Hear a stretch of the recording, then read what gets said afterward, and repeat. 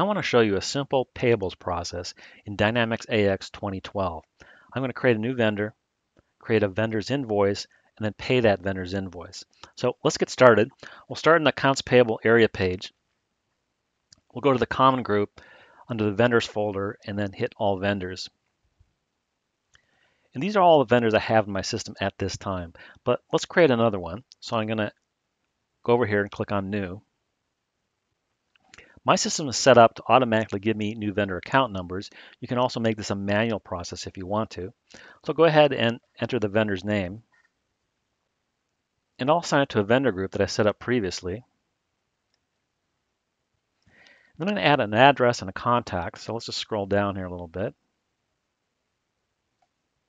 I'll add the address here.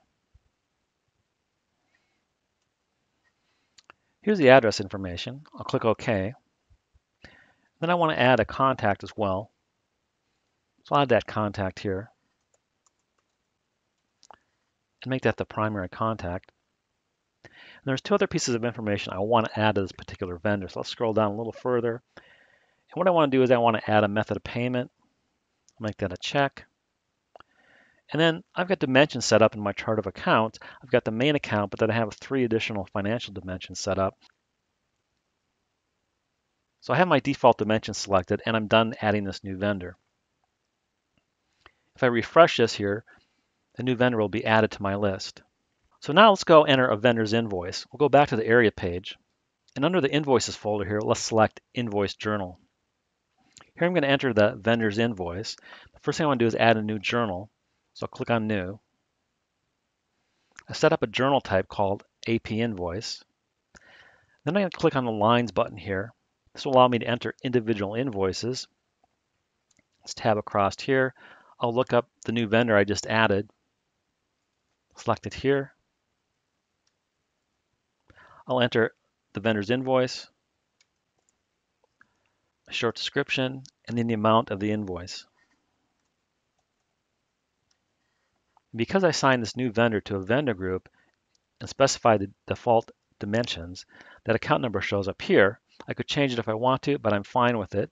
So I've entered all the information I need for a new vendor's invoice. So let's go ahead and post that.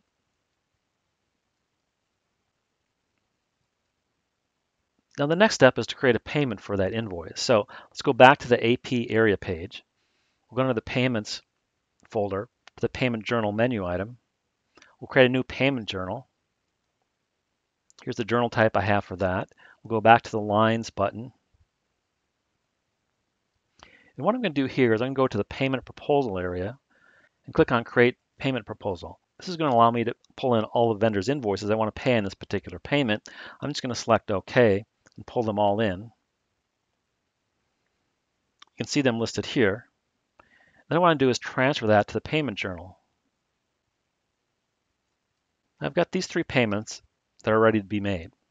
But what I want to do is I'm not going to pay all of them. I'm not going to pay this one here. So I'll select that, hit delete. And also on this one here, I don't want to pay the full amount. I'll just pay a partial amount. So now I'm done adjusting these journal items. So the next thing to do is to generate the payments. And then create checks for these. And here are the two checks that were created through this process. So all I have to do is print those out in the printer, then finish up this process by hitting close. And then what I want to do next is post this journal. And I'm done. Let's go back to the vendor list, take a look at this new vendor. We can look at the transactions right from this vendor master file. You can see we've got the invoice here and the payment. We can look at the payment see that here. So this was a simple payables process in AX 2012 where I created a vendor, created the vendor's invoice, and then included that in a check run.